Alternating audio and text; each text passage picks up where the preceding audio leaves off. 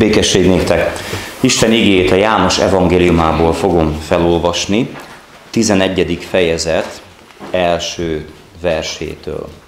Tehát János, sőt, az első versét fogom felolvasni, azután majd elő fog jönni több igevers is ezen az alkalmon, de most kezdjük az első versével, a János 11-nek. Felállva hallgassuk meg az igét, ahogy szól hozzánk János evangéliuma 11. fejezetének az első verse. Volt pedig egy beteg, Lázár, Betániából, Máriának és az ő testvérének, Mártának falujából. Imádkozzunk. Mennyei édesapánk, háladással köszönjük neked, drága igédet, hát hogy a felolvasott ige a hirdetett, a magyarázott íge, a te friss szavaddal hat párosulhasson, és ami szívünket járhassa át, Uram, drága lehelleted és drága beszéded. Jézus Krisztus nevében. Ámen. Foglaljunk helyet. Kicsit úgy jártam most ezzel a, az ige hirdetéssel, mint amikor születik egy klasszikus mű, zenemű, mondjuk a 16.-17. században, és aztán áthangszerelik ilyen dobokkal, meg basszusgitárokkal kiegészítve. Fordítva is van egyébként, amikor modern darabokat hangszerelnek át klasszikusra, az is nagyon izgalmas mind a kettő.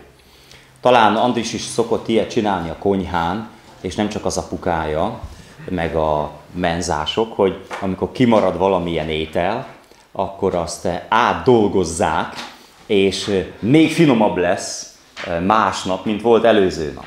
Hogy a maradékot ne kelljen kidobni. Tehát ez nekem nagyon tetszik. Hát azért is tetszik, mert különben ezt az ige hirdetéssel mondhatnám el, mert ezt én szerdán vittem a Szekhami Biblia órára, ami egy másik műfaj, de én ezt most áthangszereltem ige hirdetésre, és ezt szeretném veletek megosztani. Meg fogjuk látogatni most ezt a családot úgy, mint Jézus, Márta, Mária és Lázárnak a családját, elmegyünk képzeletben Betániába, és megnézzük, hogy mi történik a falakon belül, már annak a segítségével, amit Isten igéje nekünk megenged, hogy ezt megtehessük. Hiszen az Úr előttünk járt ebben a házban, és körül lehet nézni. Nekem mindig nagy tanulság, a 17 gyerekes Viktor család, akik, mikor a teológián, a református teológián Isti bácsi tanított, meg különösen inkább még több órája volt a gimnáziumban, ott éltek a szemeink előtt, és mindig elhúzták a függönyt, és ha a fürdőszobában nem is, de a nappaliba beláttunk, meg a dolgozószobába. Isti bácsi készül a vasárnapi ige hirdetése, láttuk. Éjszaka volt kint már, vagy télen korán sötétedett, és ő bent a lámpafénynél dolgozott, és láttuk, hogy dolgozik. Láttuk, hogy jöttek, mentek, láttuk, hogy beszélgettek, és ő így látta. Helyesnek erről beszélt, hogy egy hívő családba le, lehessen betekintést nyújtani. Na nem tudom, jönne ide János vagy Lukács hozzád, és azt mondaná, hogy szeretnék írni arról, hogy mit tapasztalok itt ma nálatok. Megengedné de neki. Vagy ha elhúznák a függönyöket, akkor betekintést adná le a te nappalitba, a te dolgozószobádba.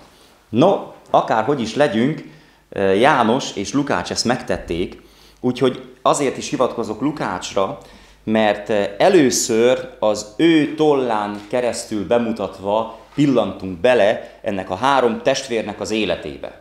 Márta, Mária, Lázár életébe. Nem tudjuk, hogy ők árván maradtak, nem tudjuk, hogy mennyire voltak idősek, mennyi volt közöttük a korkülönbség. Annyit tudunk, hogy a szülőkről egy szó sincs, házastársakról egy szó sincs.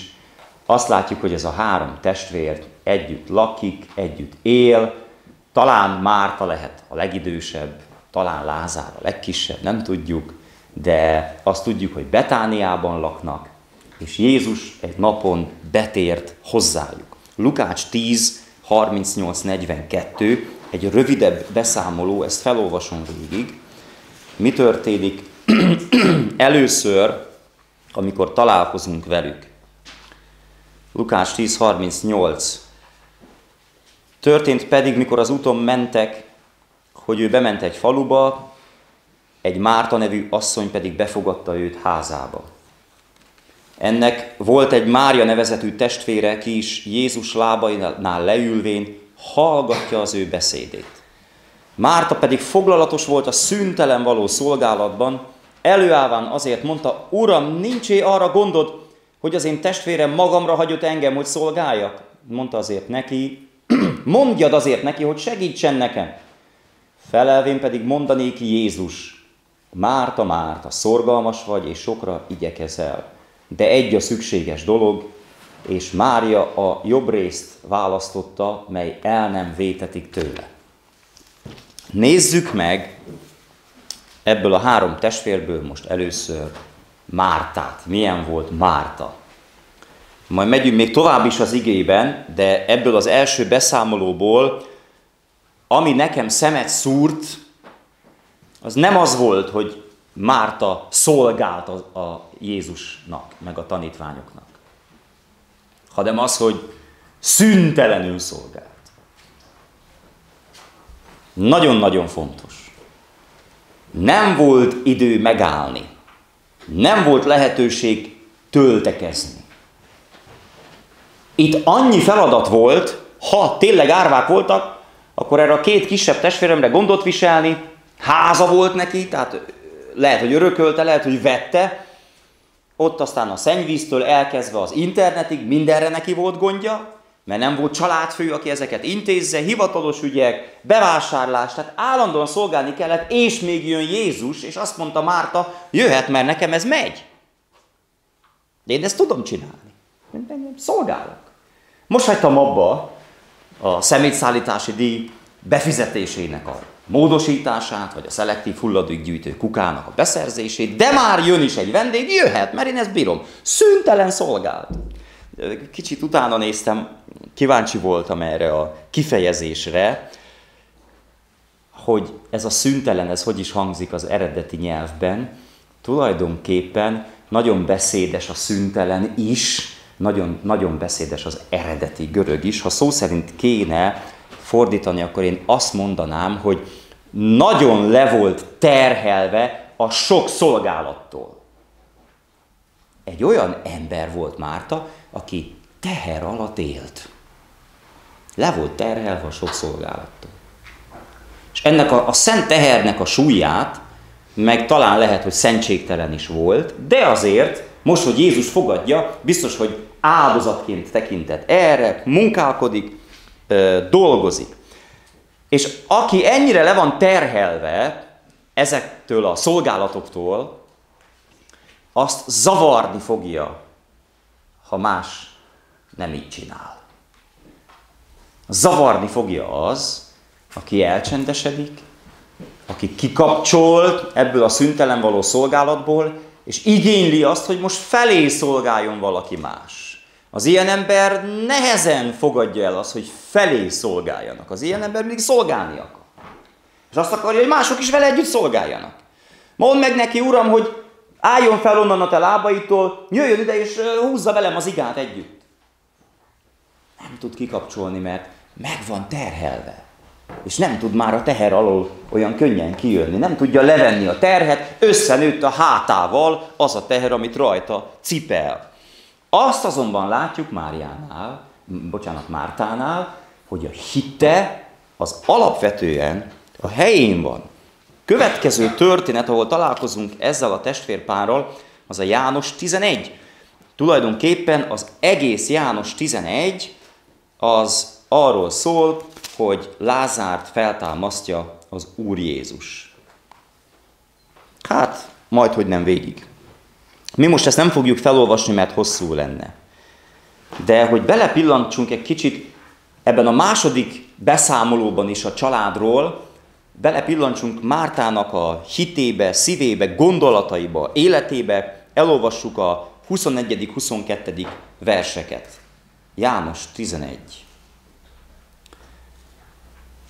Most is tudom, mondja Márta, hogy amit csak kérsz az Istentől, megadja neked az Isten. Csalódtam benned, hívtalak, hogy gyere, gyógyíts meg a beteg testvéremet, Két napig ültél egy helyben, nem jöttél nekem segíteni, nem értem, hogy miért van ez, de akkor is hiszek benned. Ez jó volt Mártánál. Mondta neki Jézus, feltámad a te testvéred. Tudom, hogy feltámad a feltámadáskor az utolsó napon. Kevesen tudtak még ilyesmiket, mint Márta. Alapvetően helyén van a hite.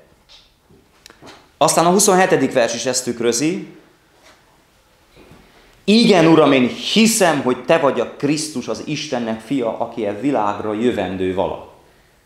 Ki hitte akkoriban, hogy Jézus a Krisztus? Egy maréknyi ember.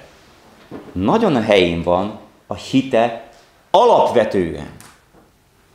De Márta egy kicsit merev. Bele van ezekbe a nagyon helyes és igaz dogmákba kövülve. Jézus a Krisztus, és feltámadás lesz az utolsó napon.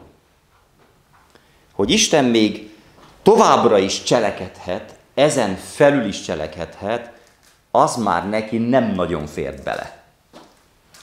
És ezért olvassuk a 39. versben azt, Vegyétek el a követ, mondta Jézus. Mondanék néki a megholtnak nőtestvére Márta, Uram, immár szaga van, hiszen negyednapos. Te vagy a Krisztus, meg lesz feltámadás az utolsó napon. Hát de most mit, mit akarsz csinálni? El a kezekkel, Uram! Te vagy a Krisztus, és lesz feltámadás az utolsó napon, de most légy szíves, ne csinálj már semmit, mert, mert ez undorító. Ez, ez borzasztó. Amikor a hit kell találkozni a tényekkel, akkor Márta marad a tények talaján, a szolgálat talaján, a, a serpenyő talaján, a vacsora talaján. Tehát ő a megfogható részt tudja megfogni, és azt mondja, hát nem érzed, hogy büdös van? Hát mit tudsz te itt csinálni? Te Krisztus, aki feltámasztod a halottakat az utolsó napon. Érezhetünk benne egy merevséget. A tények embere, a megfigyelések embere. Éhes a vendég, enni kell neki adni. Büdös a halott, nem szabad hozzányúlni. A tények embere. És aztán találkozunk velük még harmadjára a János 12-ben. Így kezdődik a János 12. Jézus azért hat nappal a húsvét előtt ment Betániába, ahol a megholt Lázár volt, akit feltámasztott a halálból. Vacsorát készítenek azért ott néki, és Márta szolgál fel. Megint látjuk Mártát, de most valami, valami más kép van, nem azt olvasuk, hogy Márta szüntelen szolgált. Túl van terhelve a sok szolgálattól. Nem olvasunk most ilyet. Csak az, hogy szolgált. Úgy normálisan. Azt sem olvassuk, hogy ott ült Jézus lábainál, és hallgatta az igét. Mert ez nem lenne Márta. Mert Isten nem akar minket olyanná csinálni, amilyenné minket nem csinált. Van, amit akar. De azt hiszem, ugye elmúlt szombaton volt erről szó, nem tegnap, hanem egy hete, hogy a jellemet és a hajlamot azért külön kell választani. A hajlamainkon akar Isten változtatni, a jellemünkön nem akar. Ha te harsány vagy, akkor te harsány leszel. Isten úgy akar használni. Azért teremtett harsánynak. Ha csendes vagy, csendesként akarsz használni. Azért teremtett csendesnek. Ha fiú vagy fiúként, ha lány vagy lányként, ha kicsi vagy kicsiként, ha öreg vagy öregként, akarhat az öreg fiatal lenni, úgy kell neki. Úgy se lesz az. A fiatal is akarhat öreg lenni, úgyse lesz az. Szolgálj aként, aki vagy.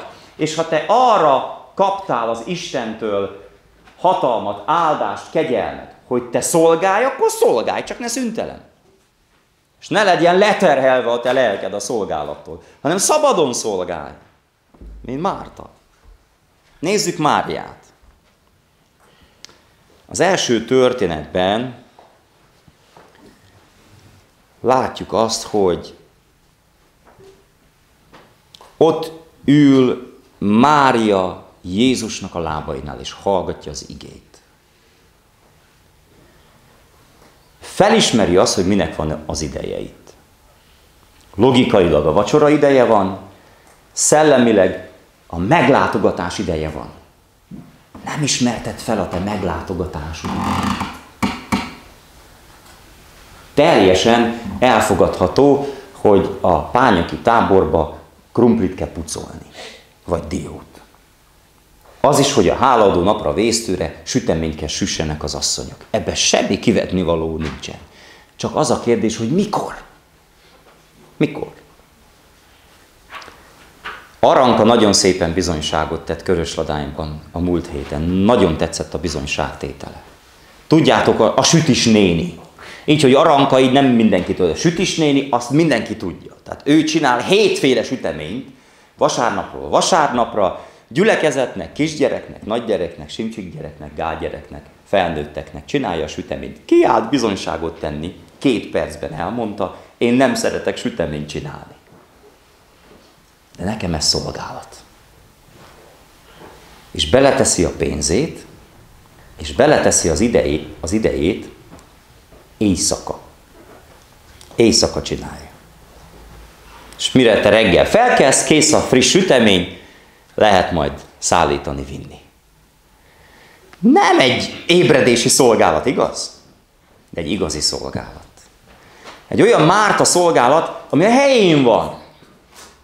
Ami a helyén van. És ha ott van az idő, hogy menni kell az Isten tiszteletre, az alkalomra, Aranka mindig ott van. Nem hallod azt, hogy Aranka jön az Isten tisztelet végén, de hozza a friss ütemét. Bándi Sanyi bácsi mondta azt. Mikor elment valahova prédikálni, régi erdélyeknél, még a mai erdélyeknél is nem úgy van, hogy na ha a jövő hónapban jön a szolgálattevő testvér, ennél a családnál vacsorázik, ennél reggelizik, ennél meg ebédel. Akkor úgy volt, hogy csak úgy elmentek, és a szolgálattevőket meg csak úgy meghívták. És jöttek a, a testvérek. Na testvér jöjjön hozzánk ebédelni. Hol a feleséged? Tudta, hogy jön a testvér, készíti az ebédet. Azt mondja Bándi Sanyi bácsi, bálvány áldozati húst nem eszek. Jött a másik. Jöjjön akkor hozzánk a testvér. Hol a feleséged? Ott ül a harmadik sorba. Na hozzátok elmegy. Nem kell bálvány áldozati hús. Nem kell Márta áldozata. Jézus azt mondta, nem kell, amit csinálsz. Nincs rá szükségem. Az kell, amit Mária csinál. Oda állt Jézus Mária mellé, mert felismerte a meglátogatás idejét. Van a sütésnek ideje, van az igehallgatásnak ideje. Csak lehet, hogy sütni akár éjszaka is tudsz, de ha elmegy Jézus, akkor igét nem tudsz mindig hallgatni. Vannak olyan idők, amikor nem szabad más csinálni, csak azt, amit Isten elkészített. Mária felismerte ezt. Hatással van Jézusra Mária. Mondd a testvéremnek, hogy segítsen. Jól csinálod, amit csinálsz, sokra igyekezel, de egy a szükséges dolog. Máriának adok igazat. Jézus dönt. Jézus Mária mellé áll. Nézzük meg a János 11-et, a másik történetet. A 32. vers nagyon-nagyon fontos. Mária azért, amint odaért, ahol Jézus volt, meglátván őt, az ő lábaihoz esett. Mondván néki, Uram, ha itt voltál volna, nem halt volna meg az én testvérem. Ugyanazt mondja, mint Márta. Teljesen ugyanazt. Nem találkoztak egymással, nem hallotta Mária, hogy mit mond Márta, a szívükbe volt ez a fájdalom. Ha itt lettél volna, hívtunk és nem jöttél, fáj az egyiknek, fáj a másiknak. Óriási két nagy különbség van a két találkozás között. Az egyik az, hogy Mária megint ott van Jézus lábánál. Bomlik oda, esik le Jézus lábához. Úgy, mint először, úgy most is. És úgy beszél vele, hogy nem, nem néz a szemébe. Nem látja ő, hanem leborul a lábához, és mondja, ha itt lettél volna, nem halt volna meg a te szolgád. Mikor, ez én testvérem, mikor Márta elmondja ezt, Jézus elkezd vele beszélgetni. Jön az a hitvallós rész, hiszem, hogy te vagy a Krisztus, hiszem, hogy feltámad az utolsó napon. Jézus mond neki sok mindent. Márjának Jézus nem mond semmit. Nem mond semmit. De Amint látja, hogy a sír és sírnak a vele jött zsidók, elbúsult lelkében, és igen, megrendült. majd egy versel később könnyekre fakadt Jézus. Hatott Jézusra Mária. Hatott. Amikor látta, hogy hogy sír Mária, hogy a lábaihoz esett, hogy azt mondja, hogy ha itt lettél volna, nem halt volna meg az én testvérem. Ebben szemrehányás is van egy picit, de hit is van. Melletted nem ér minket veszedelem. Ez is benne van. És megrendült Mária, és hatással volt Jézusra.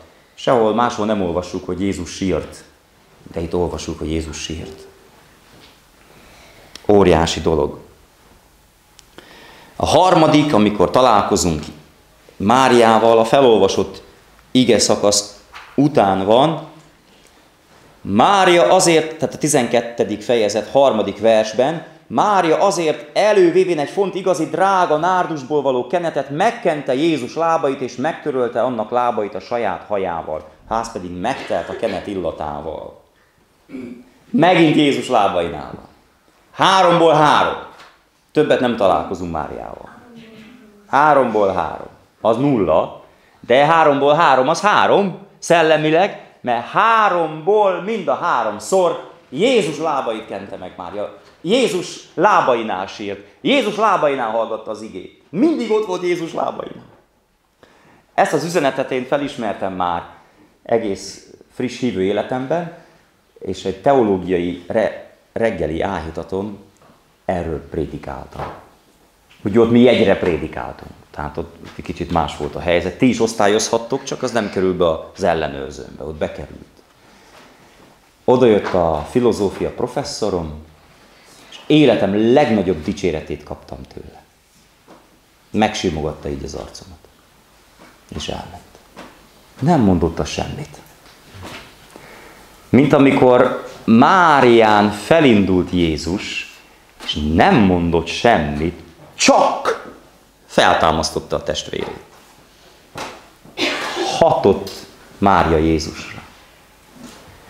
És most megint ott van a lábainál, most nem hallgat, most nem kér, nem sír, hódol, hódol.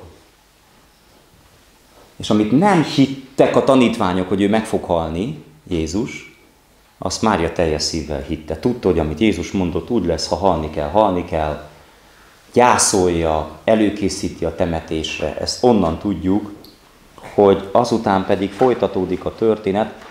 Mondta azért egy az ő tanítványai közül Iskariótes Judás, Simon fia, akit őt elárulja, miért nem adták ezt a kenetet 300 dénáron el, és miért nem adták a szegényeknek? Ez pedig nem azért mondta, mintha neki a szegényekre volna gondja, hanem mivel, hogy tolvaj volt, és nála volt az erszény, és amit abba tesznek, azt elcsente. Azért mondta Jézus, hagyd békét neki! Az én temetésem idejére tartogatta ő ezt, mert szegények mindenkor vannak veletek, de én nem mindenkor vagyok. Sütit mindig lehet sütni, de az én ige hirdetésemet nem mindig lehet hallgatni. Engem megkenni a halálom órájára nem, nem kenhet meg a 21. századi hívőasszony. Az első századi hívő nő kellett, hogy meg, megkenje Jézusnak a lábát. Hatással van Jézusra Máriának az esete. És mellé áll Jézus Máriának. Megvédelmezi. Először Mártával szemben védi meg, aztán Júdással szemben védi meg. Hat Jézusra ez az egész, és azt mondja, jól csinálta Mária, tetszik nekem, amit csinál Mária. Jó ez, hogy ezt csinálja, ez nem csak olyan általános jó illat, meg olyan általános holdolat, hanem ennek gyakorlati kijelentése van.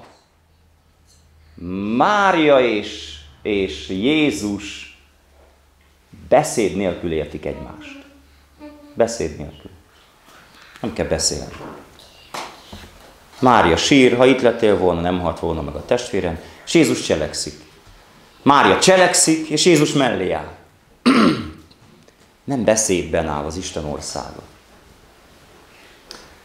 Ha kellene egy férfit párhuzamba állítani Máriával, aki hasonlóan gondolkodott, akkor ti kitállítanátok mellé. Nem? Akivel Jézus ennyire megértette magát. János! Ő volt az, aki olyan, olyan, olyan furcsán közeledett Jézushoz, értette a dörgést. Értette, hogy miről van szó, értette, hogy mi a lényeg. Péter volt az, aki menjünk már, csináljuk, üssünk oda a kardunkkal, nem eshetik ez meg ullamvér. Ő a Márta. Péter, Márta, egy lelkület. Jó az, csak többet kell metszeni. A Mária, János, az, az megint egy másik lelkület. Nem mindenhol lehet bevetni őket, de értik Jézust. Értik Jézust.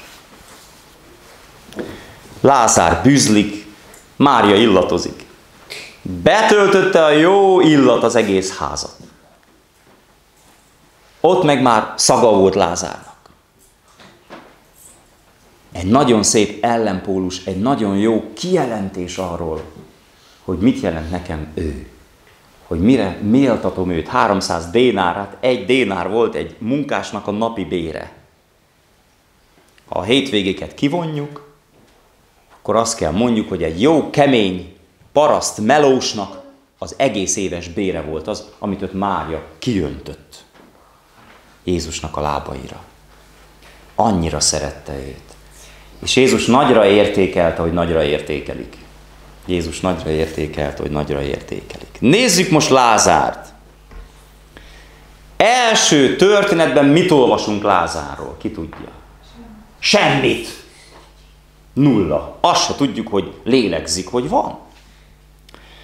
A másik történetben Lázár jön és megy. Jött, ment. Lázár, jöjj ki! Lázár kijön. Hagyjátok elmenni. A Lázár elmegy. És nem mond semmit. Hanem neki mondanak valamit, és csinálja. Annak ellenére, hogy halott. Lázár, jöjj ki! Uram, nem látod, hogy halott vagyok? Én nem tudok menni. A halottak nem tudnak menni. Kicsit gondolkod már, Jézus. Nyújts ki a kezed, te béna. Hát nem látod, hogy béna a kezem? Olyat kéri, amit meg tudok csinálni. Kapáljál jobb kézzel, azt meg tudom. De nem tudom kinyújtani a bal kezemet. Mi tudunk feleselni Jézusnak? Én úgyse tudnám azt kibírni. Én, nekem a tized fizetés az kemény dió. Nem tudnék 90%-ból megélni és eltartani a családomat. Meg mit tudom én, milyen kifogásokat hozunk. Jézus meg azt mondja, csináld meg. Többit bíz majd rá. Kezd el megcsinálni. Ha te vagy az valóban, uram, mondd, hogy járjak a vizen. De ha nem mondod, én nem megyek ki. Na jöjj hozzám, már megyek is, uram. Amikor Jézus mond valamit, az elkezd történni. Ezért fontos, hogy igét olvassunk, hogy hallgassuk Jézust, hogy imádkozzunk, hogy, hogy hallgassuk az ige hirdetést, mert amit Jézus mond, elkezd megvalósulni. Egyszerűen úgy lesz. És Lázár ezt átélte, a saját bőrén tapasztalta, a rothadó bőrén. Hogy Jézus mond valamit, kijött. Mondta, hagyjátok elmenni, elment. A harmadik történetben mit csinál Lázár? Ül, ha nem is Jézus lábánál, ül. Hát ott ugye nem úgy ültek, mint mi, hanem úgy le voltak heveredve, úgymond, mint amikor piknikezünk, és egy plédet leteszünk a földre, úgy leheveredtek. Hát gondolom elzsibbadtak, meg pószt váltottak, szóval nem olyan szépen, egyenesen feküdtek ők ott, de úgy leheveredtek az asztalhoz. És ő, ő is ott volt, úgy leheveredve, Lázár. Mondjuk mai szóval, hogy ült. Ott ült. És megint csak nem mond semmit. Lázárnak nincs levele, Lázárnak nincs könyve, Lázárnak nincs evangéliuma, Lázárról nincs szó, hogy mit beszélt volna, tanítása sincs neki, még kérdése sincs, Lázár csak van. Ő az, akit Jézus feltámaszt, ő a háttérember. És a zsidók nem Márta miatt hisznek Jézusban, nem Mária miatt hisznek Jézusban, hanem Lázár miatt hisznek Jézusban. A legjobb evangélista a, az Jézus életének a történetében, talán bemerítő János után, Lázár. Bemerítő János sokat beszélt, és lehet sokat beszélni. Pál is A tanítást éjfélig megnyújtotta, és jó, ha van tanítás, ami éjfélig tart. Van még 13 óránk addig, úgyhogy én innen le nem jövök, csak bírja a kártya a memóriával. De nem mindig kell beszélni. Valamikor csak lenni kell. Lenni kell. És aki eddig bűzt árasztott, míg halott volt, jó illatot áraszt, míg, mikor él. És azt olvassuk, hogy a, a zsidók meg akarták ölni Lázárt, a vezetők, mert az emberek miatta hittek Jézusban. És azt mondták, szüntessük meg az okot. Igaz, hogy Jézus már egyszer feltámasztotta, tehát egy ilyen butaság, igaz, hogy megöljük, és nem tudják, hogy Jézus megint fel tudja támasztani. Megöljük, feltámad, megöljük, feltámad. Úgyis Jézus él az utolsó szó. Úgyis fel fog támadni az utolsó napod, igaz? Miatta hisznek a zsidók. Nagyon-nagyon jó misszionárius volt Lázár. És néha a legjobb misszió testvér, hogy csak vagy, és nem bűz lesz. Szent vagy, jársz arra a munkahelyre, jársz abba az osztályba, felsöpröd a havat, a falevelet, kifizeted a számláidat, vagy, hívő vagy. Jöjj ki, kedves gyermekem, a világból, jöjj ki a bűnből. És aztán menjél. És maradj a fenekeden, ne pattogjál, nem missziózzál, nem neked találták ki.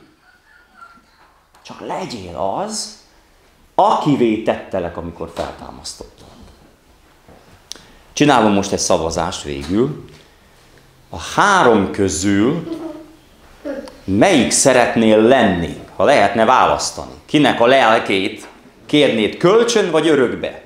Máriáit, Mártáit vagy Lázárét, jó? Gondolkodjunk el, ennyi időt kaptunk rá, nézzük, hogy kiválasztaná a Lázárnak a lelkületét, emelje fel a kezét. Egy. Kiválasztaná a Márta lelkületét. Nulla. Hát, kiválasztaná Máriáét.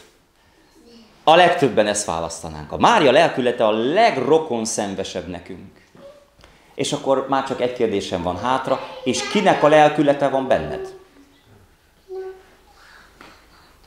Nem azért szeretnénk Máriát, mert a legkevesebb belőle van bennünk. Mert ha tele lennénk Mária lelkületével, azt mondanánk, hogy hát már nem kell több. Már annyit hallgatok Jézusra, hogy se sütemény nem sütöttem, senki nem nyitottam az imaház ajtaját, se a havat le nem lapátoltam, se egy vendéget soha életemben nem fogadtam, csak mindig hallgatom az igét. Már nem elég volt Máriából. Nem. Azért szavazunk Máriára, mert nincs bennünk az ő lelkülete, ugye? Hallgatni se nagyon tudunk, mint Lázár. Mi aktívak vagyunk. Mi dolgozunk mi csináljuk, mi missziózunk, mi sütünk, mi sürgünk, mi forgunk. Jézus azt mondja, ülj már egy kicsit, vagy haj már meg egy kicsit. Meg kell halasszalak, hogy tudjál helyesen missziózni. Mint Tóth Andor, amikor elmondta, hogy a templomtetőt javították, felment a munkása a templom tetejébe, az ott kapott ö, sokkot a tetőn. Ja, le fogok szólni, meg fogok halni, emberek, mozog az egész hál, vagy oda mentem, azt, hogy megfogtam az egyikkel, a másikkal, puf, lenyomtam neki egy nagy pofont. Ho, észhez. Na most lemegyünk. Jézus néha egy kupán csap, hogy nem ott szorogjál annyit. Egy kicsit meghalaszt. Hagy meghalni, két napig ott marad Jézus. Halljon meg, jó, legyen jó, rothat. Majd ott onnan feltámasztom, akkor tudok már vele valamit csinálni. Mártát is helyre teszi, mert a helyén van a harmadik alkalommal. Mária mellé áll. Mária mellé áll. Hát testvérek, szükség van nekünk mind a háromféle fogásra. Olyan jó az, amikor elhívnak engem, így lesz a jövő héten is, már előre féltem a kis pocakomat, jó kis levessel kezdik a testvérek, jön a kiadós második, és aztán egy jó, édes harmadik. Amikor nincs meg ez a tele hasra az édesség, én nem is tudok igazán jól lakni. Jól esik. Na legyen bennünk elég a Márta lelkületéből, a Lázár lelkületéből, meg a Máriáéból is. Amen. Amen.